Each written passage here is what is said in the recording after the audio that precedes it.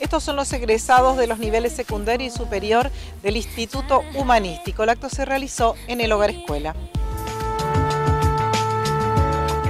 La verdad que sí, mucho trabajo en este ciclo lectivo 2016 que está finalizando. Bueno, el 10 de diciembre tuvimos el acto de recepción del nivel secundario y del nivel superior. Eh, nuestras carreras, nuestras tecnicaturas en estimulación temprana, en psicopedagogía, este, han tenido su, su agasajo correspondiente a lo que es el cierre del ciclo lectivo. Qué honor es llevar ese título en mano, ¿no?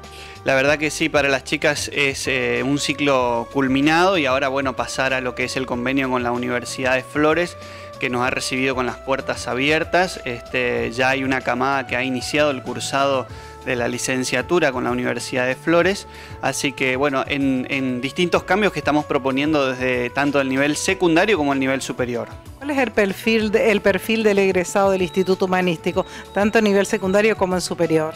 Bueno, el perfil de nuestro egresado es evocarse a todo lo relacionado con lo social y con lo humanístico, lógicamente haciendo honor a nuestra titulación institucional, este, esta orientación de asistir y de ayudar eh, constantemente a nuestro, a nuestro par es el objetivo principal de nuestra institución. El 2017 trae buenas noticias.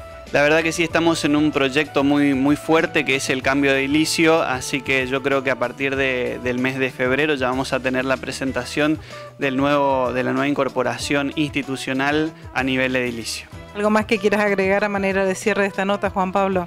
Agradecerle a todos los padres, tanto del nivel secundario como del nivel superior, que han sacrificado muchos años, ¿sí? seis para el secundario y cuatro y tres para el nivel superior en las distintas carreras. Agradecerle la confianza, el tesón que han puesto y el acompañamiento para con sus este, hijos e hijas que, estuvieron estudiando con nosotros. Así que muchas gracias, felices este, fiestas y próspero año nuevo también.